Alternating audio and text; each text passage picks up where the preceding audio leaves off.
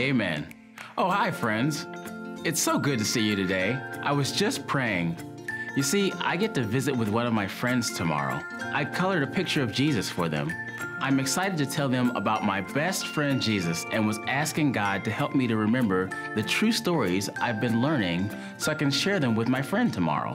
Hey, that reminds me of a true story from the Bible. A man named Abraham sent his servant to get a wife for his son Isaac. And the very first thing the servant did when he got there was pray. He wanted God to help him. Let's watch our puppet friends tell us the story right now. Fasten your seatbelts and turn your listening ears way up. Good job. We're ready.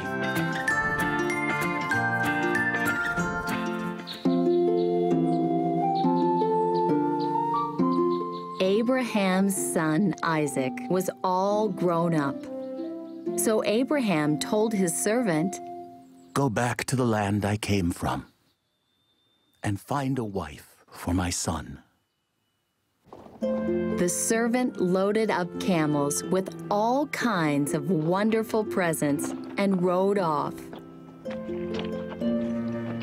After he got to the land far away, he wasn't sure how to find a wife for Isaac. At a place where girls came to get water, he prayed, Let the right girl give me water. Before the servant had finished praying, a beautiful young woman came to get water. Will you give me some water, please? Yes, I'll get water for your camels too.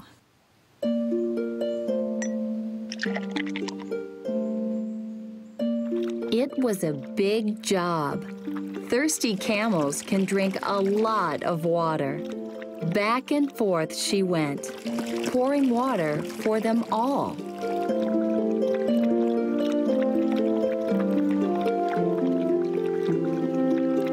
The servant knew this woman was the one to be Isaac's wife. Her name was Rebekah.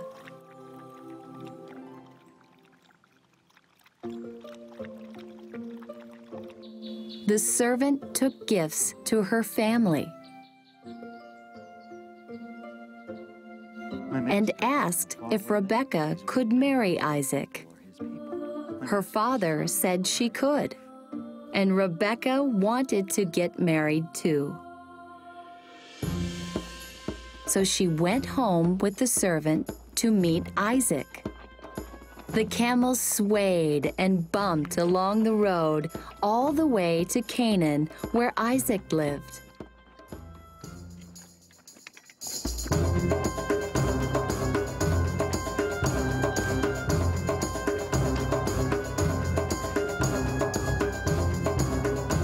One evening, just before the sun went down, the camels stopped. A young man was walking in the field. He looked up and saw the camels. His bride had come. Isaac loved Rebekah. And so they were married.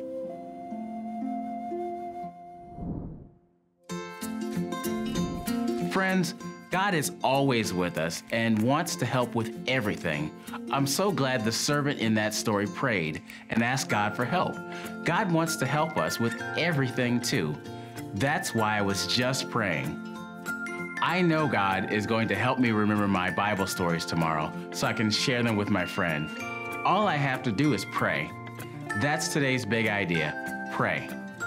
When you have a question, pray and talk with God. When you want help with something, pray. God will help you. God loves you and is always there with you and will always help you. I love Him so much. Okay, so you only need one finger to remember today's big idea. Show me one finger. Great. Now, on the count of three, shout our big idea. One, two, three. Pray. Oh, wait, this will be even more fun. Show me praying hands. Yes, that's better. On the count of three, we will make praying hands and shout today's big idea. One, two, three, pray. Bible Bunny is going to love hearing today's big idea, and I'm certain Bible Bunny will have Bible words to help us learn our big idea even better. Let's get bouncy and let's get ready to sing his favorite song, the B I B L E. Yes, that's the book for me. I stand alone on the Word of God, the B I B L E Bible. Hi, Bible Bunny. Thank you for joining us. It's so fun to visit with you and to hear Bible words from you. First, we'd like to share today's big idea with you. Are you ready? Okay, friends, let's tell Bible Bunny our big idea together. One, two, three, pray. In today's story, Abraham gave his servant an important job. He wanted his servant to go and get a wife for his son Isaac. The first thing the servant did was pray and ask for God's help. And Bible Bunny, God helped the servant. It's an amazing true story. We want to be like Abraham's servant and remember to pray about everything. We were wondering, do you have any Bible words to help us learn our big idea even better? You do? Well, all right. Okay, friends, put your listening ears on. This is when you get to hear God talk to us from the Bible. Oh, Bible Bunny, those are great words. They come from the book of Proverbs. Proverbs 3 6 says, Listen for God's voice in everything you do, everywhere you go, and he will give you success. Friends, that's just what Abraham's servant did, and that's what I always want to do. When we pray, we are listening for God's voice so that He will help us in everything we do and in everywhere we go. Bible Bunny, thanks for sharing those Bible words with us.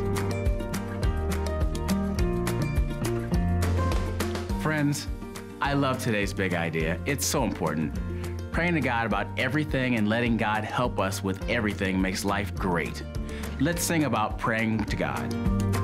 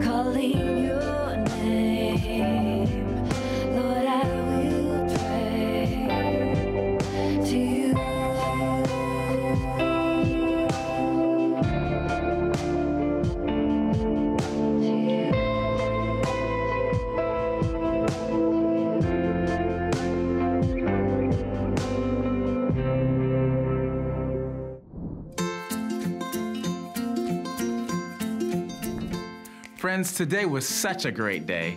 What's our big idea again? Pray. That's right. God is right there with you, and He is right here with me.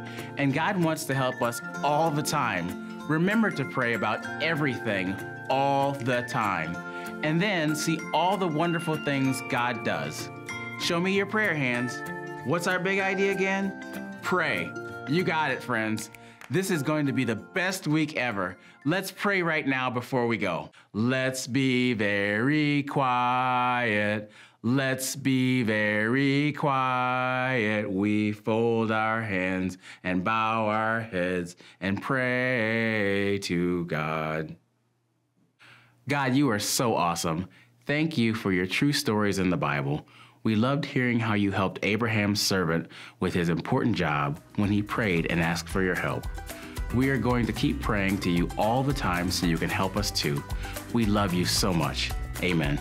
Remember, friends, to pray. God will always help you. See you next week.